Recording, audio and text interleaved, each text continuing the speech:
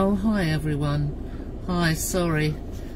I've got the camera, for some reason, turned the wrong way round.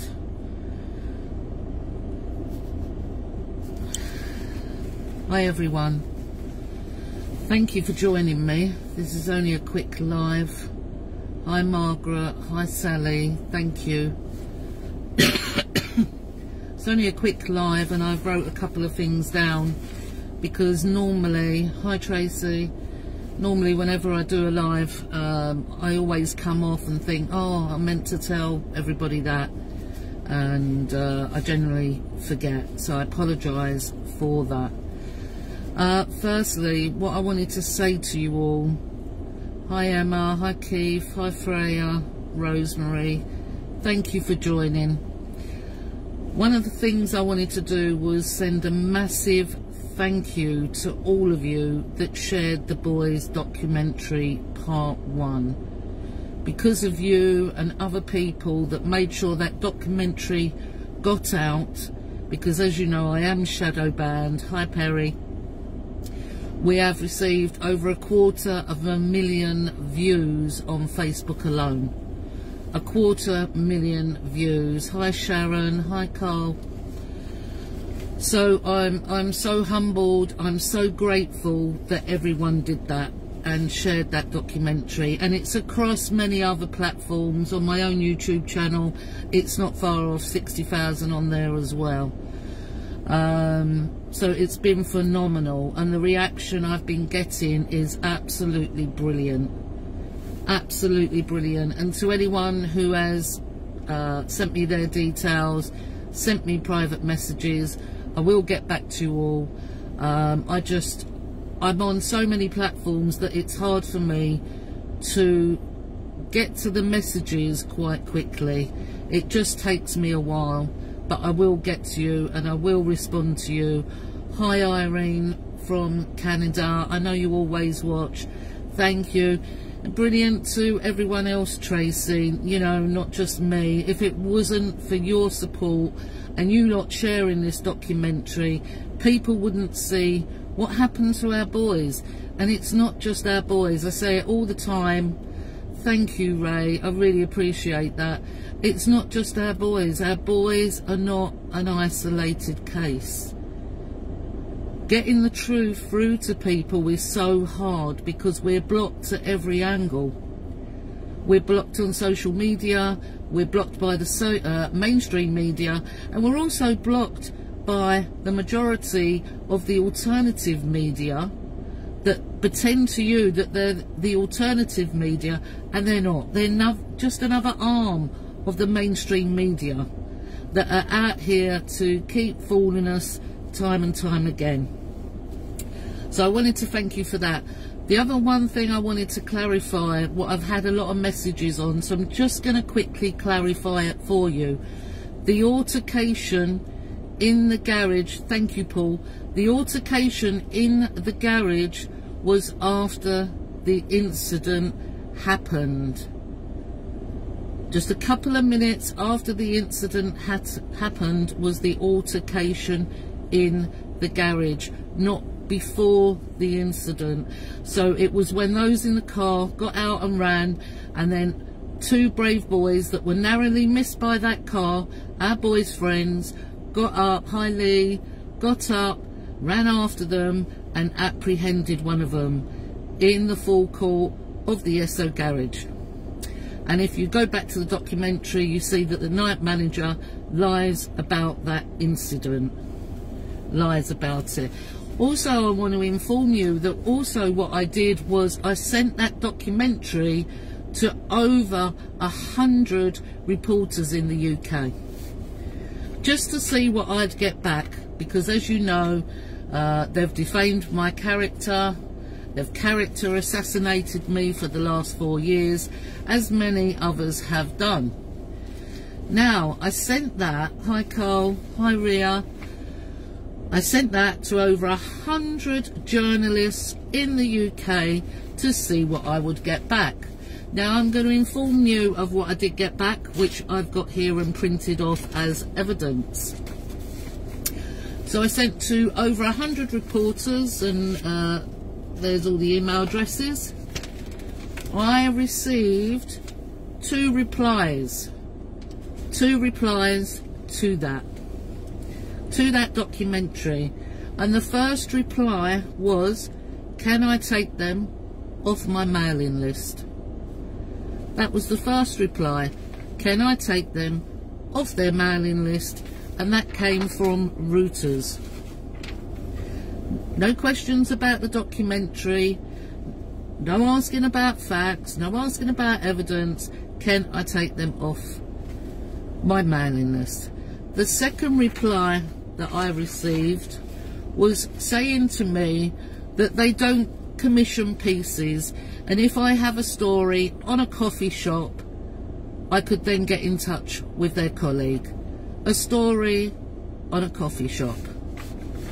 When I've just sent them documentary with evidence, enough evidence in that to the murder of our three boys.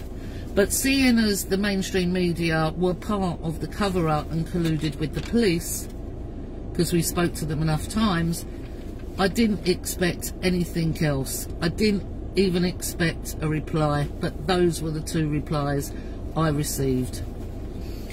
Um, you know, as I've said before, to me, my son's been murdered twice by those in the car and by the police. Because our boy's story goes deeper than I've informed you so far because I can only give you so much. As I've said before, I would love to give you everything regarding the murders of our boys, but I just can't because I need to get back into court. I need to get what is just for our boys and I need to hold people accountability for what they did because if I don't, if I don't, this will continue continue. And the police are not what people think they are. They are just here to enforce everything on you. Same to you Alfie. Everything onto you is about enforcement. It's not about protection. And they use the media to make up stories to make police at times look like heroes. They're not. It's fake. It's fake to play with your emotions each and every time. Each and every time. How dare they tell us, the police, that all three boys died instantly when two didn't, one of them being my son. It's evident in their own paperwork. How dare they play God, judge and jury? Because they're none of that. And they're certainly not gods and never will be. There is no place for evil in this world. No place for it. And we shouldn't have to suffer it. But that's what they make us do. They make us suffer each and every time. I put a post up yesterday um, from The Sun on how they portrayed me. But they did the same to Hillsborough, and we all know that. And the majority of people in Liverpool, I don't know if it still is sold there, but the majority of people in Liverpool don't buy that paper. paper. And really, we should have learnt by that. But we don't learn. We don't learn. And how much more are people going to take? How much more? The police are the biggest criminal network in this country and they don't investigate nothing. They don't investigate nothing. One of my friends um, who's become a dear friend, and I know she's watching this right now. She's gone through a lot. She's gone through a lot over the last year, year and a half, and she has had to push and push and push and push to get anything done in her case. And it's serious. It's serious because there could be a serious outcome to that if she doesn't do that. And that's the same all across the board, all across this country. Thank you, Kelly. I appreciate it. Thank you.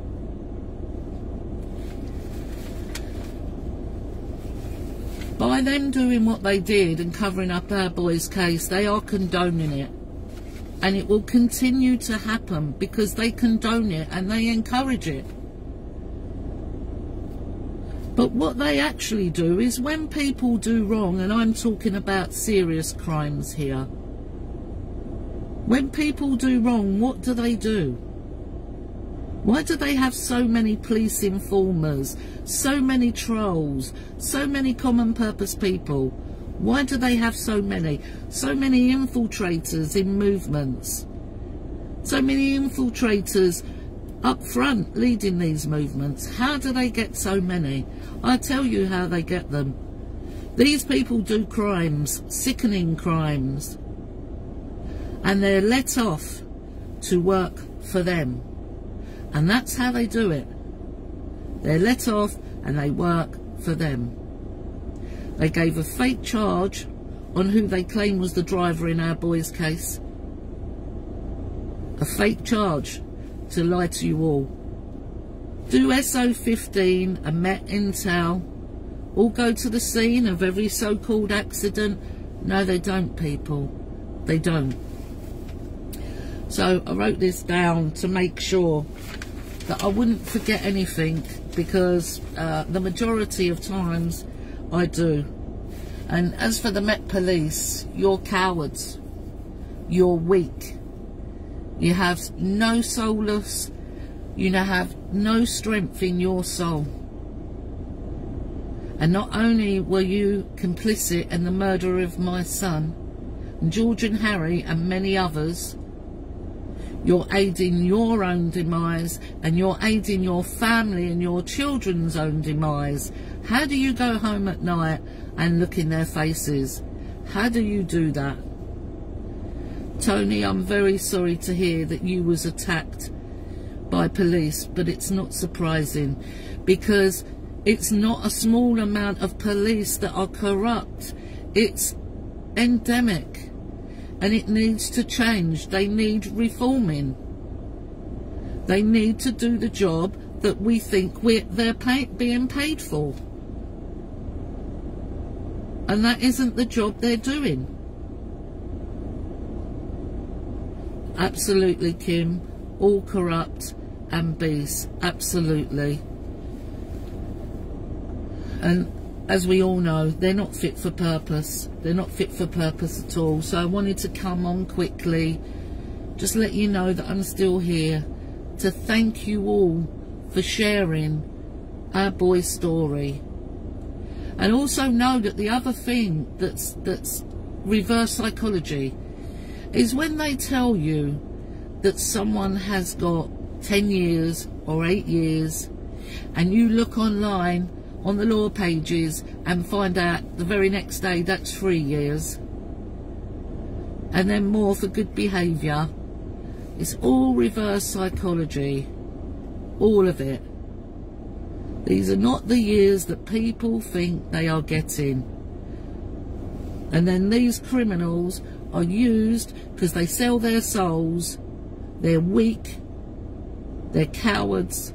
And they go out and they become police informers and grasses and work for them so that they control everything. Thank you, Brian. Thank you. Now, next week is four years.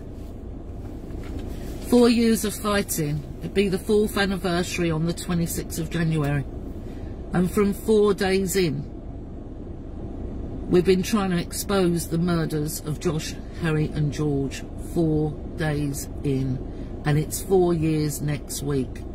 Now I've tried to follow their processes of writing to this person, writing to that, having meetings with the MPs, writing to the courts, buying the transcription. We even had to pay for the transcription of the Old Bailey of being there, which was 400 odd pounds. We had to pay for that to get that. So we have tried to follow every process that they have and I still follow it in the background by writing to the right people and you just get ignored. So for them to be shocked at me turning up at the CPS or turning up at the coroner's court, why wouldn't I? Why wouldn't I? When I'm being ignored. We haven't heard the last from me. Next week is four years. Four years of fighting. Four years of telling you the truth. Four years of doing lives. Four years of doing posts. Four years of sending over a thousand emails and letters in the background.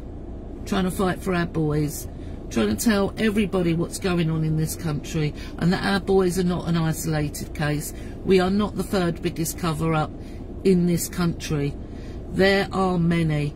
I get enough stories sent to me like people who are suffering. I see people almost daily that are suffering in one way or another and it isn't right, it is wrong.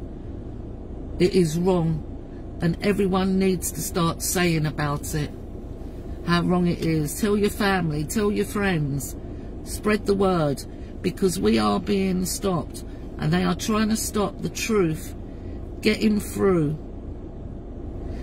Tony, I tried that. You know, I was always brought up to earn your own money, raise your own money and everything else. And back in 2018, I tried to GoFundMe so that we could get help for a private prosecution because the criminals get legal aid one of the murderers got legal aid and they said we weren't entitled to legal aid to fight back. That is how they do it. So they can do anything they want to you knowing that you don't have the money to fight back.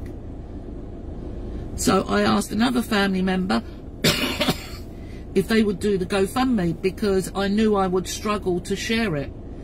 We're all in the same boat. We're all working class people and we all struggle. And it's a hard it's a hard life work-wise, bringing up family, working. Many of us can't even afford holidays bringing them up because we have to work because so much of your wages are taken by the parasites, aren't they? While they sit drinking champagne in their ivory towers and everyone out here is suffering. So we tried that back in 2018. Uh, I made up the GoFundMe page. I think I shared it once, then everyone else, you know, kindly started sharing it. Um, the, the, that then, um, there was a certain date that that gets stopped. I don't know how it works. A second GoFundMe was uh, made. It was closed down and everyone paid the money back because it was getting reported as a scam, things like that. As they do, as they do, I speak out. So, you know, we're going to get these attacks. Um, and then on the 22nd of December 2018 I stopped funding altogether because I was getting lied about. So since then, sorry, since then I've just been trying to learn the law myself. Well, not the law, the legal, because there is a difference between the two. It's not my law, it's not my law. It's not how I was brought up. I was brought up with values and morals. Yeah, and the commandments. My schooling was all Church of England school and we was taught only good things. To care about your neighbour. To care about each other. Don't do something to someone else what you wouldn't do want done to you. That's what I was taught. That's what I was installed in me. The English way of values and morals. And good men stood up when there was a wrongdoing. Good men. Anyway, that's enough for me going on. Um, I just wanted to thank you all. And I can't, Royston. I'm so humbled and grateful because I know how hard it is for everybody out here, especially what you've had to face the last two years as well, with so many people losing their businesses and everything else. Stop fearing people. Stop fearing. That's how you're controlled. Through fear. Don't fear. It's not in our blood to fear. It's not in our blood. It's not. Our ancestors' story is our story. We are not meant to fear. Anyway, thank you everyone for listening. Um, I'm sorry if I've gone on a bit. I just wanted to come on and merely thank you all for what you have done in sharing that documentary for Josh, Harry and George. It means so much. We're so proud that so far we have over a quarter of million views on Facebook alone. On Facebook alone. So thank you everyone. Listen, take care and you will see me again soon and a lot more from me this year. Take care.